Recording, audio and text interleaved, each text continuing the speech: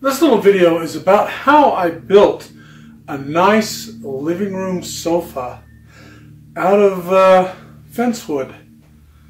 And the reason I did it too. Now, what am I doing out here in this uh, this little uh, sun deck? Is this is where I built it, right there on the floor, is where it was done. And let me show you some more things about. It. Now, this couch right here is the reason I built it. This one used to be in our living room, and it was moved out here uh, later on after I got the couch built. Now, it wasn't this bad looking before, but I got tired of uh, buying couches like this, solid leather and, you know, all that stuff.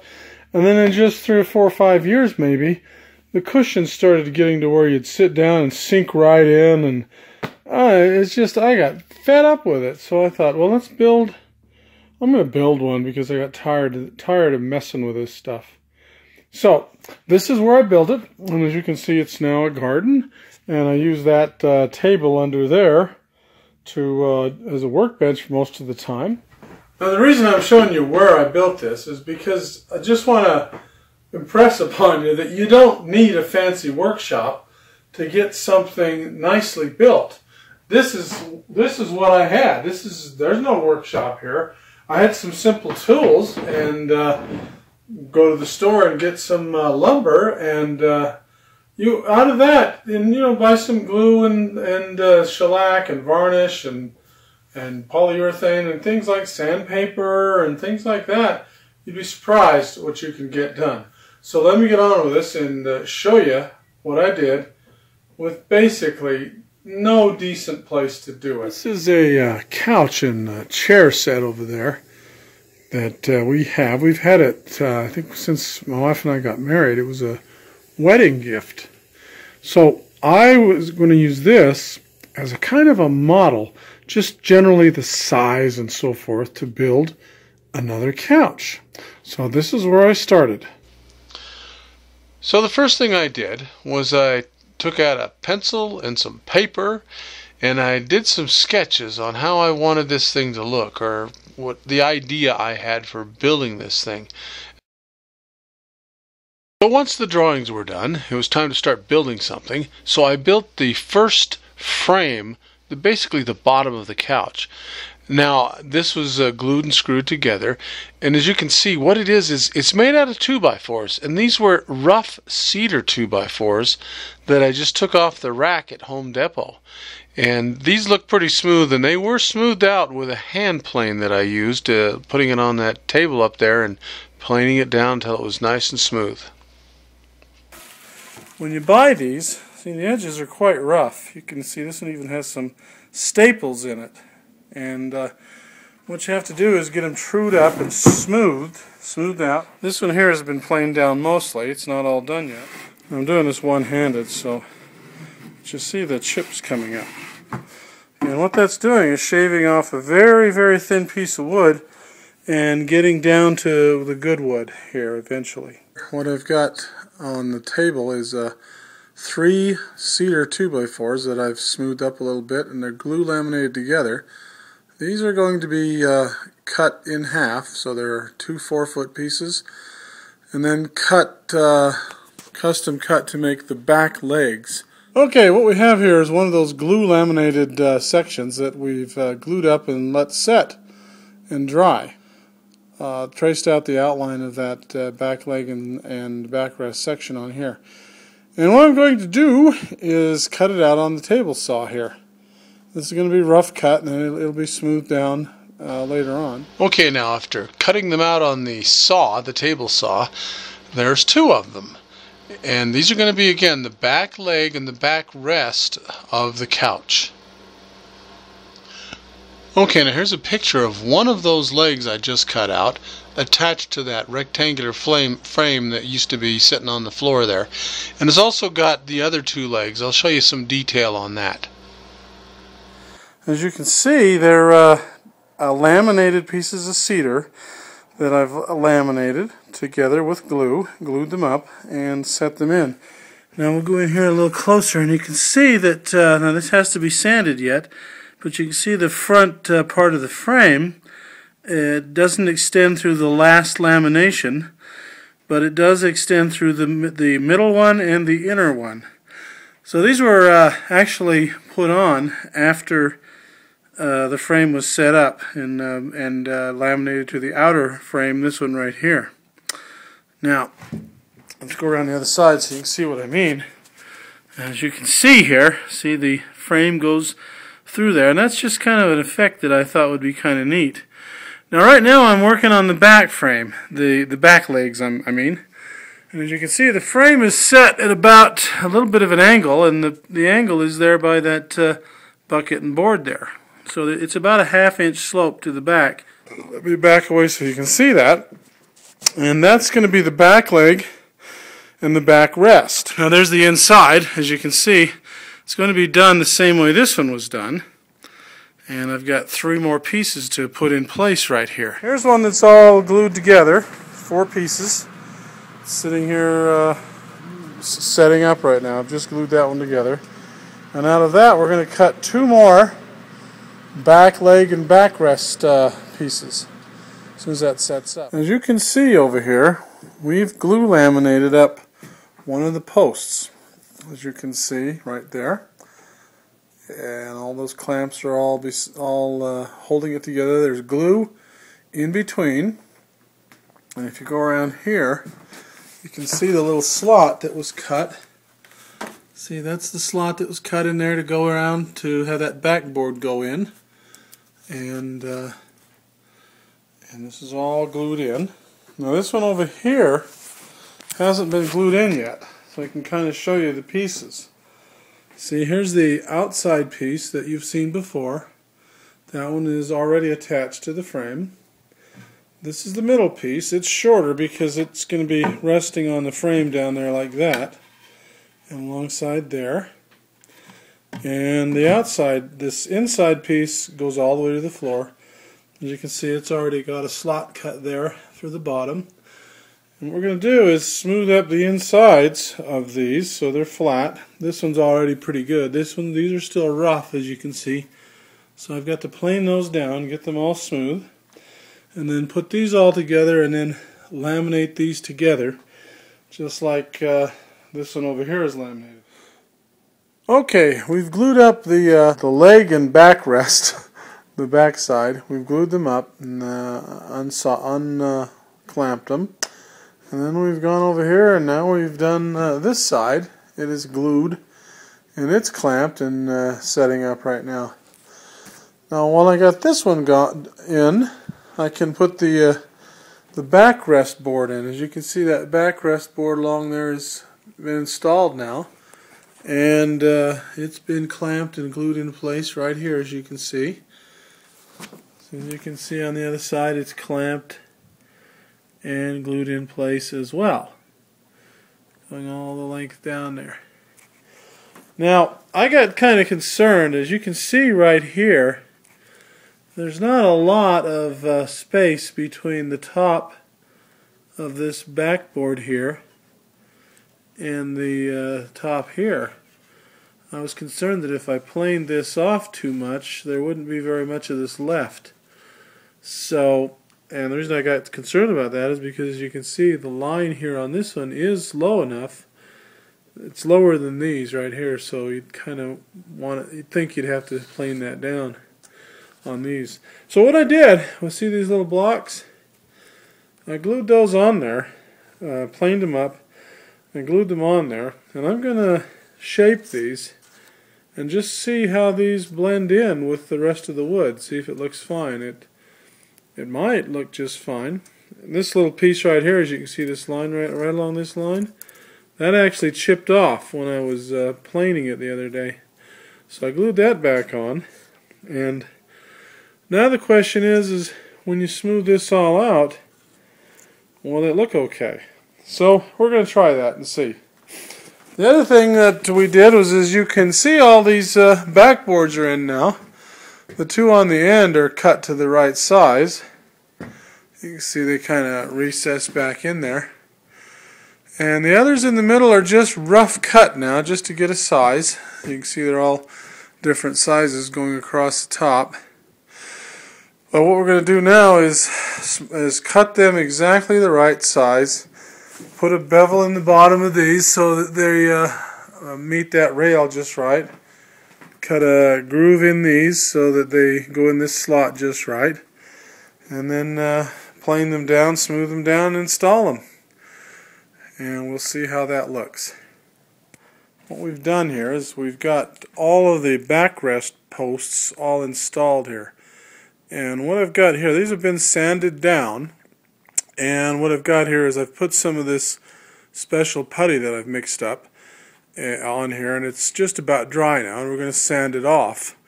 And what that should do is fill in all the little tiny cracks that we might have. You can see right here, here's a couple of joints. See, this is one I did before that had a big crack in it. And as you can see, once it's dried and all sanded down, that looks pretty good. You can barely see it. It doesn't look bad at all. So these have all been sanded flush now. Everything is sanded flush on the front.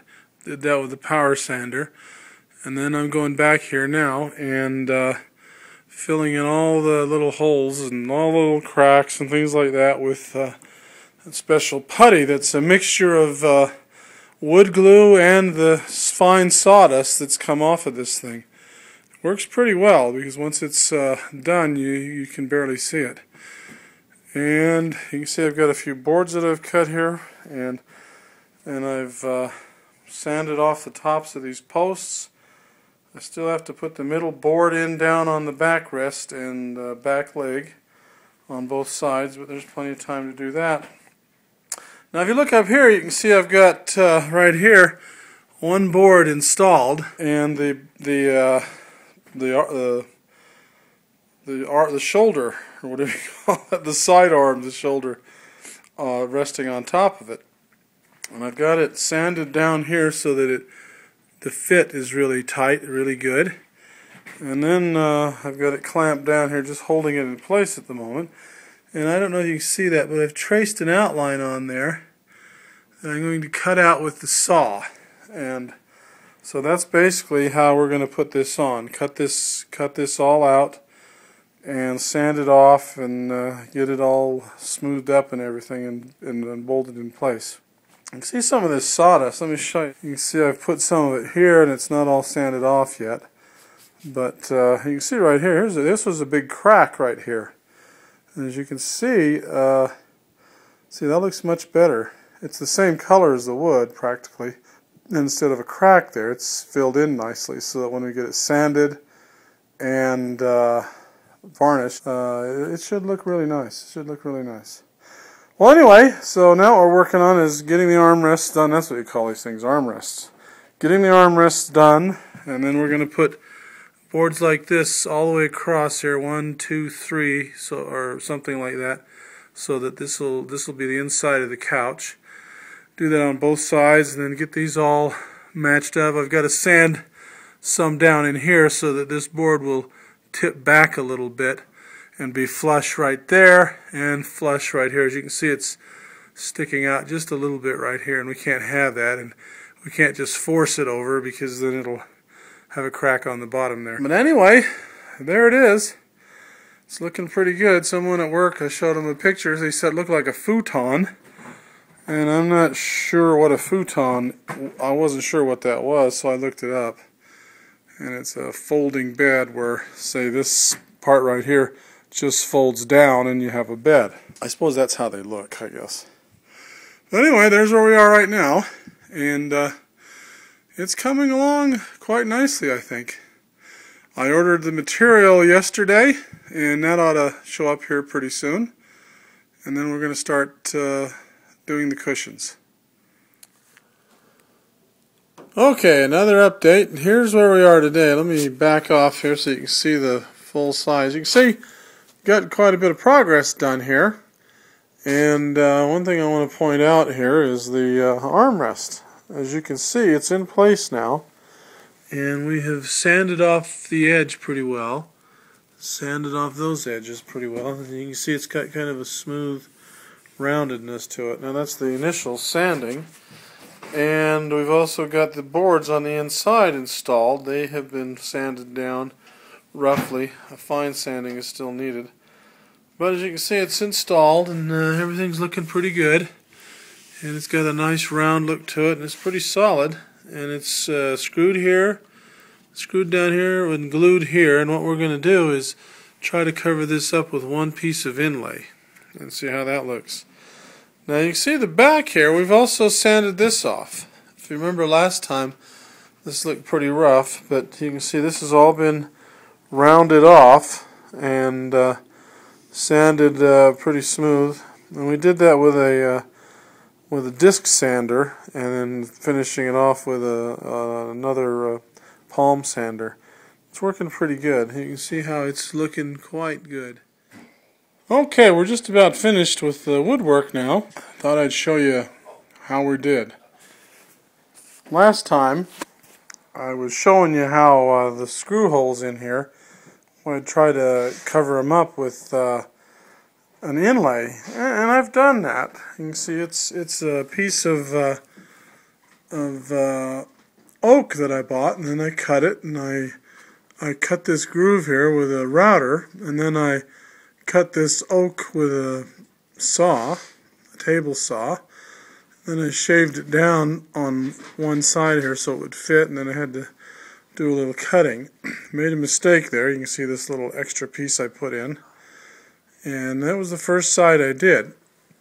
The other side here, after I've had a little experience, didn't make any mistakes on.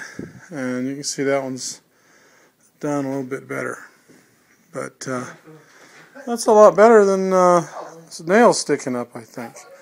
Anyway, the sanding is all done, and uh, and uh, all of the woodwork, the the holes in the bottom. If you remember, I was telling you about having to putty those up, and you see they're all puttied and sanded off, and the backside too. and uh, one of the last things I did was I carved out me and Charlene's initials. And we're going to, that still needs to be uh, sanded down and trued up because you can see it's not quite symmetrical.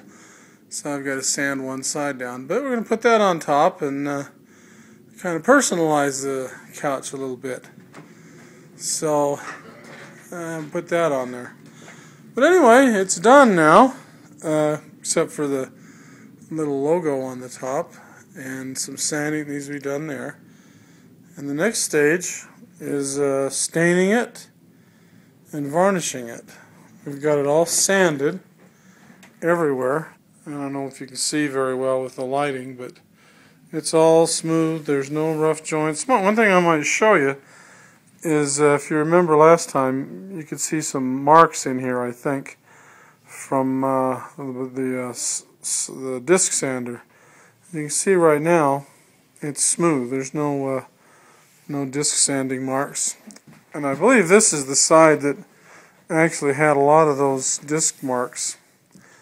But as you can see right here, it's smooth. These uh, extra pieces of wood that I put on, they're actually smooth. So that'll be an interesting effect once the stain is put on. But everything is smooth, everything is uh, sanded, everything's ready to go. There is one thing that I uh, see that I should have done that I didn't. You see that back leg, how it comes down. The couch is still stable, but it, it very easily, if you get in it, it'll push, it'll lean that way, see? And right about there is it's balanced. Well, that's not real good. What you want to have is you want to have the center of gravity a little bit more toward the front of the couch. And the way to do that is you take the back leg and you bow it out just a little bit. And I noticed that a lot of couches are like that. Now I could have cut this this uh, piece I made, these laminated pieces, and I could have actually done that quite easily. You know, I have that uh, the back the back piece go down and then hook on to the to the uh, frame right there, and then from there tilt back a little bit instead of coming straight down like it is. Could have done that, and I should have done that, but, well, next time. We've got it all uh, stained and polyurethane. I could probably use a couple more coats on it. I hope that sunshine isn't making it difficult to photograph here. But anyway, this is uh, kind of what it is now, and I think we're all finished. And I think it turned out rather well, actually. Uh, you can see our little logo in the back there on the top. That worked out pretty well, too. And as we go this way, you can see how the uh, how the uh, finish shines pretty good. Let's go take it from this side. And this is what we got from this side. The sun's shining on it. I hope that doesn't affect it too much. But there it is. And right now what we're working on is putting the getting the cushions together. It's finished now, completely finished. And as you can see, I've got some cushions on it. I made them myself. And uh, I think perhaps if I'd had them professionally done, they might look a little better. But, you know, for a first time amateur having to make those like that, I don't think they're too bad. They're actually not too bad at all. Anyway, that's a nice couch. Well, once we got it in the house, it turns out my wife wasn't too crazy about the cushions I made. And uh, so we ordered some professionally made cushions. So here's how it looked sitting in front of our living room window. Turned out rather well, I think. But the cushions had to go. So they ended up here in the storage room all alone.